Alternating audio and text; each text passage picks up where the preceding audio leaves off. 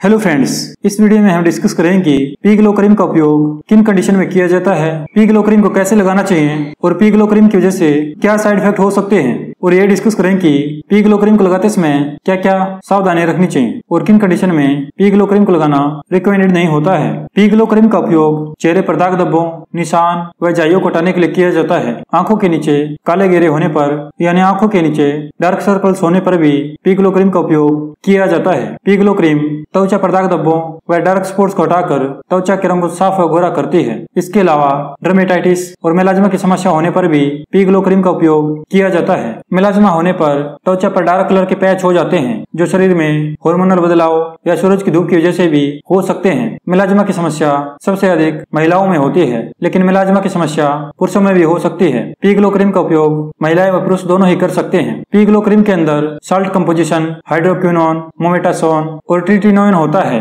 अब हम डिस्कस करें कि पी ग्लो क्रीम को कैसे लगाना रिकमेंडेड होता है। पी ग्लो क्रीम को दिन में एक बार और रात को सोने से पहले लगाना रिकमेंडेड होता है। पी ग्लो क्रीम को रात को सोने से कम से कम 30 मिनट पहले लगाना रिकमेंडेड होता है। अगर आपको पीगलो क्रीम को चेहरे पर लगाना है तो आपको पीगलो क्रीम को लगाने से पहले अपने चेहरे को पानी की मदद से अच्छी तरह से धो लेना चाहिए। और उसके बाद आपको अपने चेहरे को एक साफ़ कपड़े की मदद से साफ़ कर लेना चाहिए। चेहरे को अच्छी तरह साफ़ करने के बाद पी ग्लो क्रीम की एक पतली लेयर अफेक्टेड एरिया पर लगानी चाहिए। पी ग्लो क्रीम को एक उंगली की मदद से हल्के हाथ से फैलाकर लगाना चाहिए और पी ग्लो क्रीम को ज़्यादा रगड़ कर नहीं लगाना चाहिए। पी ग्लो क्रीम को आँख, मुँह और नाक के किनारे के पास लगाना रिकमेंडेड नहीं है। इसलिए पी ग्लो क्रीम को आँख, मुँह और नाक के किनारे के पास नहीं लगाना चाहिए। अब हम डिस्कस करें कि पी ग्लो क्रीम को लगाते समय क्या क्या सावधानी रखनी चाहिए और किन कंडीशन में पी ग्लो क्रीम को लगाना रिकमेंडेड नहीं होता है। जब तक आप पी ग्लो क्रीम को लगा रहे हैं, तब तक आपको दिन के समय में सूरज की धूप में जाने से बचना चाहिए, क्योंकि पी ग्लो क्रीम की वजह से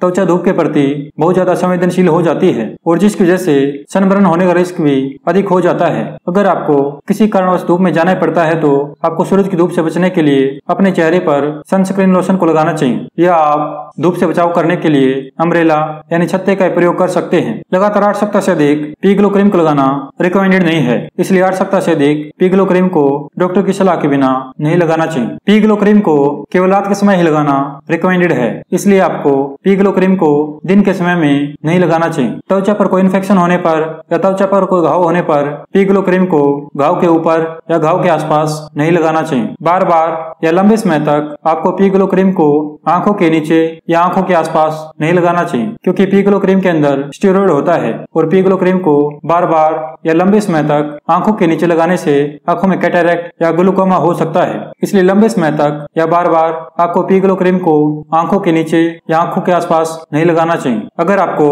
पी ग्लो क्रीम या इसके किसी भी इंग्रेडिएंट से एलर्जी है तो आपको पी ग्लो क्रीम को नहीं लगाना चाहिए और इसके बारे में डॉक्टर को बताना चाहिए। अब हम डिस्कस करें की पी ग्लो क्रीम की वजह से क्या साइड इफ़ेक्ट हो सकते हैं। पी ग्लो के साइड इफ़ेक्ट में त्वचा में जलन इरिटेशन खुजली या रेडनेस हो सकती है। अगर आपको पी ग्लो क्रीम को लगाने के बाद त्वचा में जलन इरिटेशन खुजली या रेडनेस ज़्यादा होती है तो आपको तुरंत ही डॉक्टर से परामर्श लेना चाहिए। पी ग्लो क्रीम को लंबे समय तक, यानी कई महीनों तक लगाने से त्वचा पतली हो सकती है और स्किन का कलर डार्क भी हो सकता है। इसलिए बार बार बिना डॉक्टर की सलाह के पी ग्लो क्रीम को नहीं लगाना चाहिए। और पी ग्लो क्रीम को केवल उतने समय के लिए ही लगाना चाहिए जितने समय के लिए आपके डॉक्टर ने पी ग्लो क्रीम को लगाने की सलाह दी है। कुछ लोगों में पी ग्लो क्रीम को लगाने के बाद त्वचा की एक पतली लेयर पपड़ी बनकर उतर सकती है। पी ग्लो क्रीम को लगाने के बाद त्वचा में टेम्परेरी तौर पर सूखापन भी हो सकता है। अगर आपको पी ग्लो क्रीम को लगाने के बाद त्वचा में सूखापन ज़्यादा होता है तो आपको सुबह उठने के बाद अपने चेहरे को धो लेना चाहिए और उसके बाद वेस्लिन या कोई मॉइस्चराइजर